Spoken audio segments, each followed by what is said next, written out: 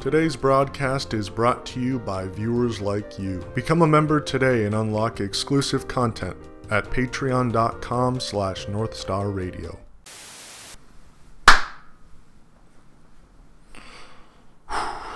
Alright, here we go. The year is 2020. Um, I don't really know what I'm gonna say. I usually script, like script, script, script, write lots of things on the internet. But no, I just pressed record. So, um, There's this guy named Johnny Harris, and he's just announced his departure from Vox. Borders USA is canceled and will not air. You see, for the past three years or so, Johnny Harris has been creating one of the most popular documentary series on YouTube, going by the name Borders. In this series, Johnny Harris would travel all over the world to discuss some of the most fascinating geopolitical conflicts of our time. But after leaving Vox, Johnny Harris didn't stop there. In fact, he propelled even further. Okay, so number one, I'm gonna keep making YouTube videos. I'm now officially like a full-on YouTuber. This will start to really take a lot more priority in my life. Ever since the end of 2020, Johnny Harris has become the king of New Age journalism on YouTube. Video after video, Harris has a unique ability to bewilder and perplex his 5 million subscriber audience. Thanks in large part to his beautifully entertaining editing style, seamless way with words, and incredible ability to rewrite history, Johnny Harris has become a household name. Oh my god, that's Johnny Harris. Oh my god, he stole Johnny Harris's flow.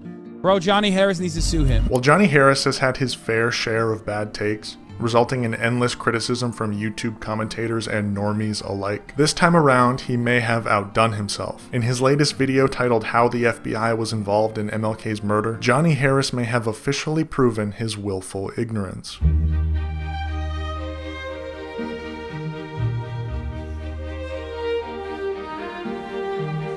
Johnny Harris has a history of getting things wrong, or if I'm being charitable, fudging some numbers, simplifying some events, and making very broad claims to justify his worldview. A few years ago, Tom Nicholas made a video about Johnny's partnership with the World Economic Forum. Shortly thereafter, the Present Past made a video criticizing Johnny's rewriting of history when it comes to Western expansion and control of the entire world. And more recently, a channel by the name of North Star Radio made a video discussing Johnny's weak analysis and absolute glaze job of Joe Rogan. Johnny Harris, in all honesty, is very confusing to me because most of his videos are really good. And while the conclusions he comes to in most of his videos are pretty uninspiring, he does shine a light on many important issues with imperialist expansion. He's made videos very critical of the Iraq War. He criticized the immense power politicians wield on the stock market. He's even made a handful of videos analyzing the destructiveness of colonial expansion. But even after all that, he goes ahead and makes a video defending America's greatest war criminal. Henry Kissinger. I mean, listen, it was the Cold War. Like, again, none of Oh, us can God. really capture what that was like. You had Oh, come on, dude. Oh, he's just. Recently, at least in the past few months or so, Johnny Harris has been expanding his operation, hiring several writers, editors, and even a music composer. And for whatever reason, after enacting these changes in his operation, Johnny Harris videos have gotten weird. War used to be simpler. Violent, yes, always violent, but more straightforward. It used to be about large groups of men fighting with their muscles. Johnny Harris has always been a dramatic storyteller.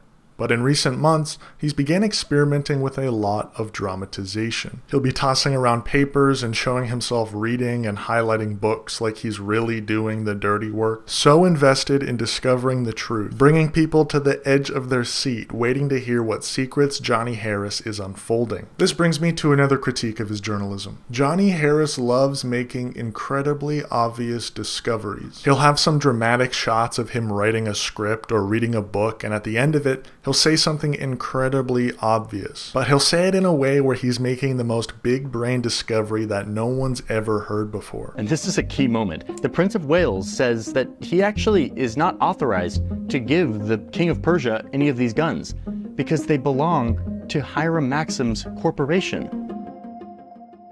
Pause here for a second. Do you see how this works back in the late 1800s and early 1900s? Governments couldn't sell weapons.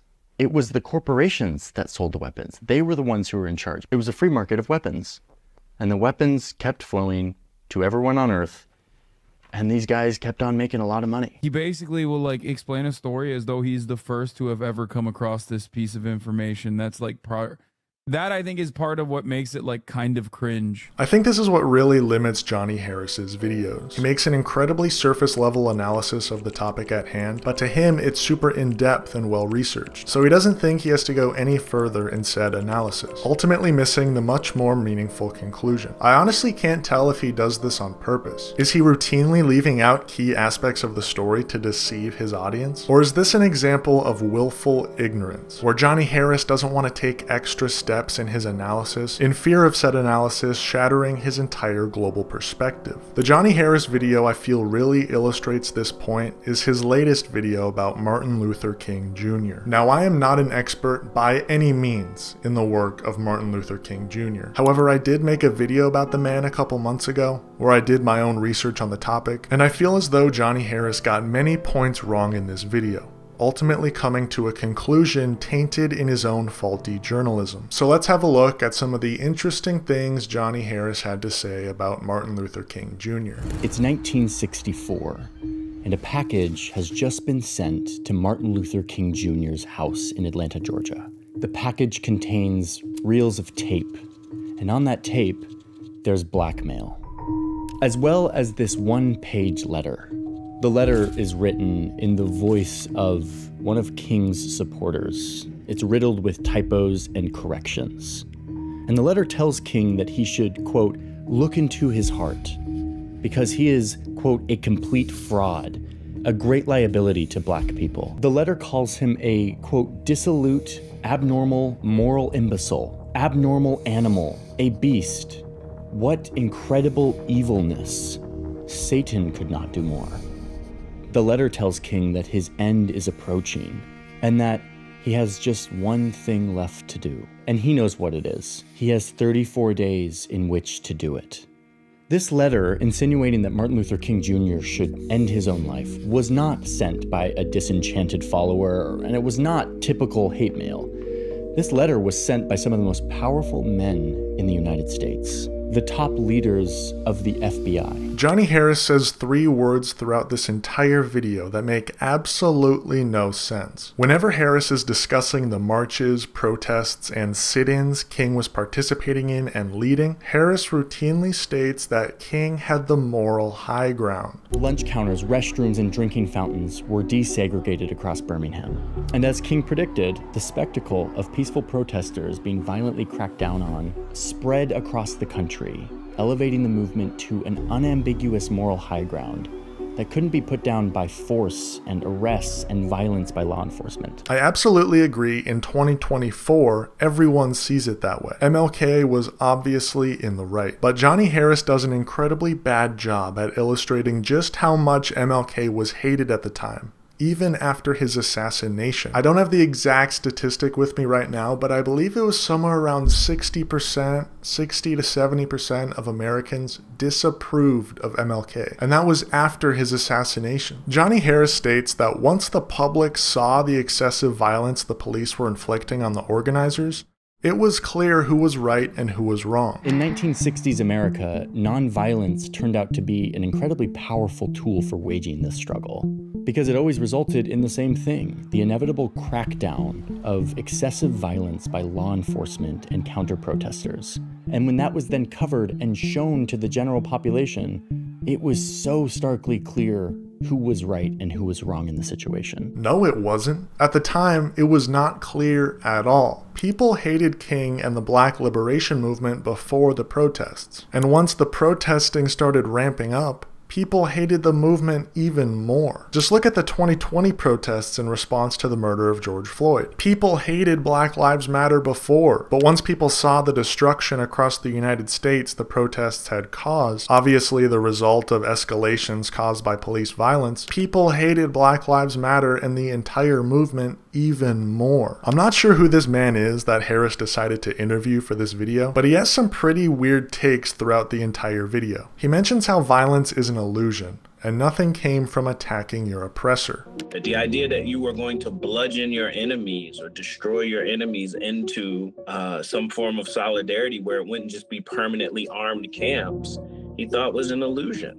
persistent illusion that we constantly make. That that's one of the objections about militarism that it's based on a fantasy. Now, I'm not one to advocate for violence, as I feel change is possible without it, but throughout history, in times of immense oppression, Violence was the only possible way to find emancipation. Just look at pre USSR Russia or colonial Cuba. The common man was so small in the grand scheme of things that the only way they could achieve justice was with violence. I've mentioned this before, but I had issues with the 2020 protests at the time. I didn't understand the phrase no justice, no peace, because I was a major advocate for peace, no matter what. But now in 2024, I understand the meaning behind it. Justice cannot be achieved when there is one sided violence from the police state, and in response to said violence, peace cannot continue. Action must occur in the form of organization, sometimes violent, in order to achieve justice. It has reached that level of importance. Okay, so Johnny Harris brings up this incredibly famous letter. King and many of these protesters were arrested. From jail, King wrote a letter about why he was leading these demonstrations in Birmingham.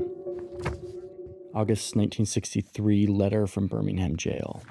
We know through painful experience that freedom is never voluntarily given by the oppressor.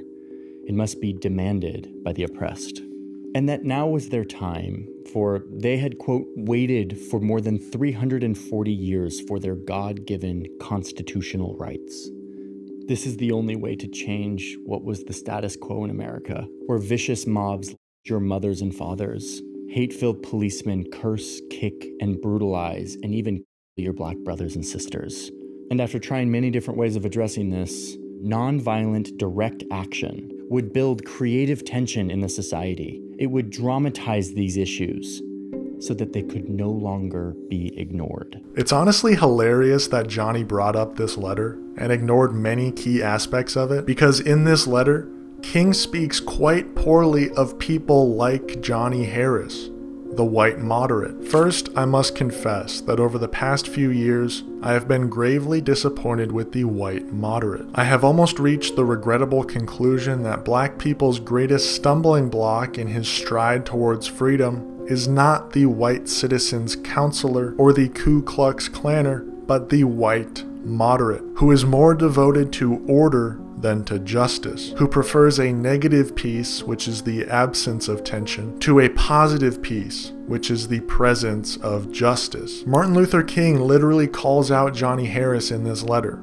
Yet, for whatever reason, Johnny's conclusion was to agree with King and support his message, even though it talks negatively of people with his exact worldview. There are many whites who are trying to solve the problem, but you never see them going under the label of liberals. That, that white person that you see calling himself a liberal is the most dangerous thing in the entire Western Hemisphere. He's the most deceitful. He's like a fox. And a fox is almost is always more dangerous in the forest than the wolf. You can see the wolf coming. You know what he's up to. But the fox will fool you. He comes at you with his mouth shaped in such a way that even though you see his teeth, you think he's smiling and take him for a friend. But Martin Luther King was challenging an old, entrenched system. And when you disrupt a system like that, you create enemies. Either you give the Negro his God given rights and his freedom, or you face the fact of continual social disruption and social chaos. His enemies included those that you would imagine, like the Ku Klux Klan, whose leaders allied with local police in the South and who stated that killing MLK would eliminate all racial problems in the South. You also had pro segregation groups like the White Citizens Council, who tried to convince the federal government that King's growing movement had communist connections. But it wasn't just these overtly bigoted groups. His enemies also included business owners, real estate developers, landlords, employers, all of whom benefited from the status quo. Discrimination in hiring practices, housing, and mortgages. Then, of course, there was a whole bunch of lawmakers and governors, most of them from the South, almost all of them from the South. But among King's enemies was a Department of Justice agency that was powerful, whose job it was to protect Americans and to enforce the laws of the country. That is not at all the job of the FBI. The job of the FBI is to keep the American state safe, not the American people. This just proves that Johnny is a big fan of our current order, but he just has a problem with specific individuals in the system that are making it bad. In this video, Johnny Harris tries extremely hard to end any and all speculation that King was tied to communism. But the way Johnny Harris talks about communism is like the most childish thing I've ever heard. So remember, it's the 1960s, it's the Cold War. There's an obsession with finding communist sympathizers, anyone who is sympathetic to our big enemy, the Soviet Union. And the director of the FBI at the time was named J. Edgar Hoover. He would be the director of the FBI for like decades. So as King's movement grew, Hoover became suspicious that the movement wasn't a grassroots rising up for equality and racial justice, but rather a communist plot to sow division in American society. So Hoover and his agents cook up some thin evidence that tie Martin Luther King to communism, and they get approval from the Attorney General to spy on King. But what they don't tell the Attorney General is that they're not actually looking for communism. There is no communism here, and they know that.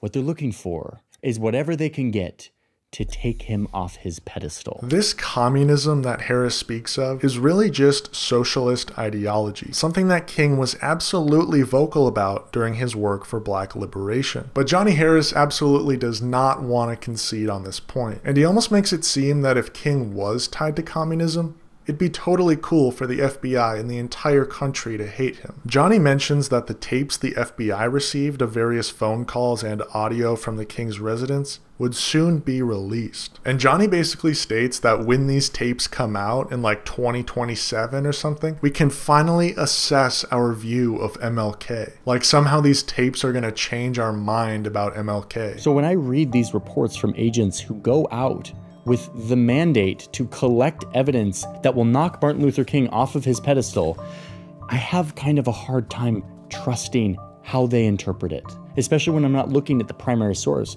I'm looking at agents' interpretation of audio recordings. These aren't transcripts, these are summaries. They're not visual, they're audio. And to me, they're tainted with deep racist bias. As someone who seeks truth and looks for evidence, that's a problem. Now, in 2027, all of the tapes will be released. And at that point, we will have the opportunity to listen to those tapes and assess whether or not they change in any way our legacy and our view of Martin Luther King as an individual. I guarantee Johnny Harris already has a video in the works, or at least plans to make a video when these tapes release. And I would bet a lot of money on the fact that Johnny Harris is probably going to do a complete 180 on MLK and say that he's done some very bad things and we should not praise him as much as we do. But that's just a prediction. History will absolve me. So it's 1964.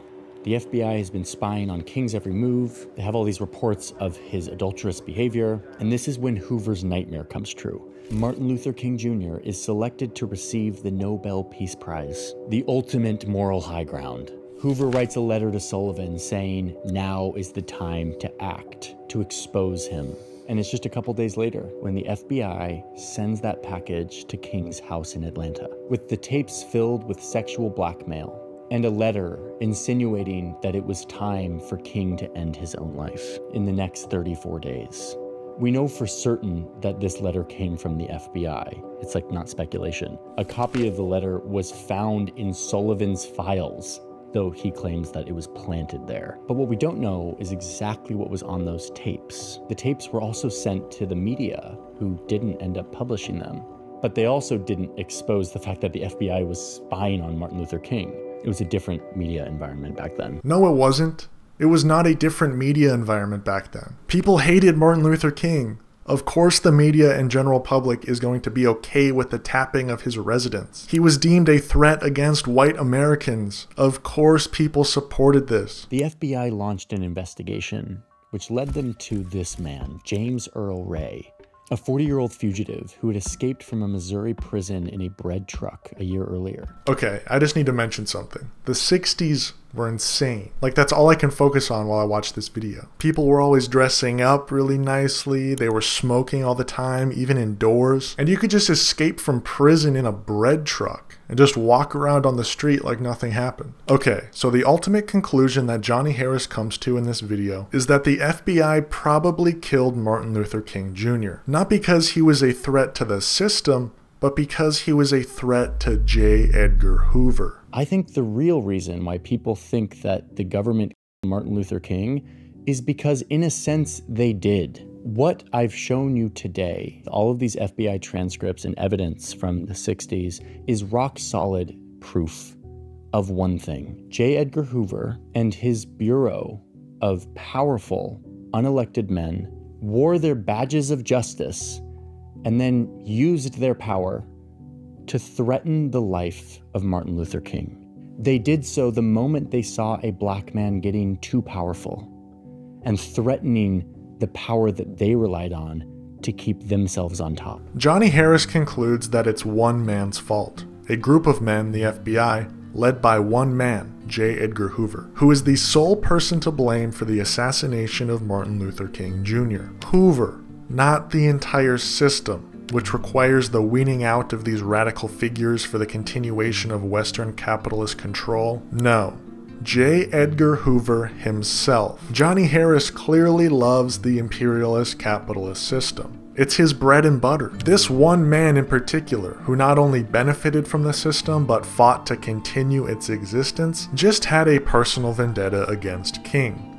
Nothing more, nothing less. This is a very common analysis that liberals often participate in, and I see it more and more when talking about Israel. They are more or less in support of the apartheid. They just think it's being done too harshly. So instead of fighting against the system entirely, they find a name to latch onto and organize around that. Instead of wanting the end of apartheid, they simply want the end of Benjamin Netanyahu's political control.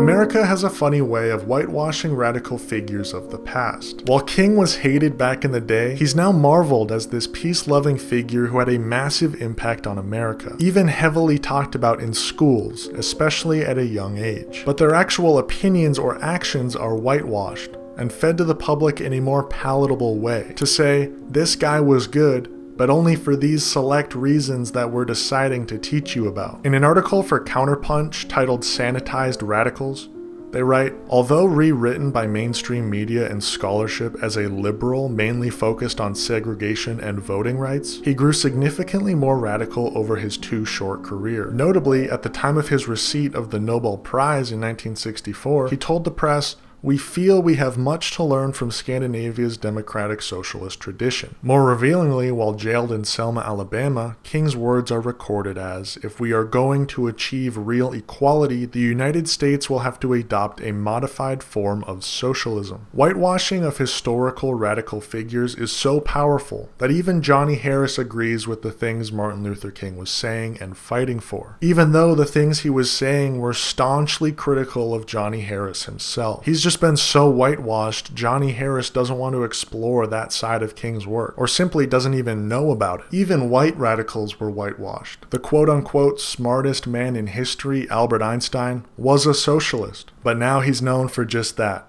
being the smartest man in history. Johnny Harris is clearly at a turning point in his life.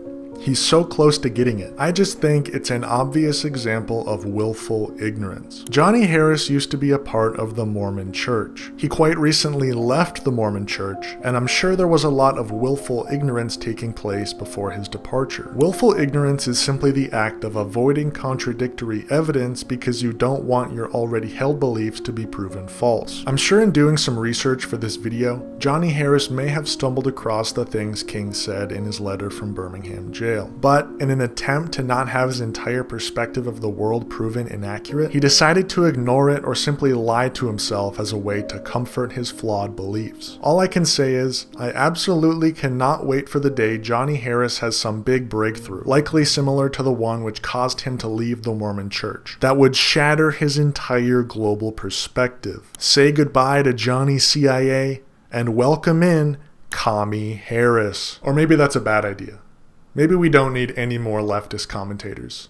I have way too much competition as is. Thank you for watching North Star Radio. Peace and love, and free Palestine.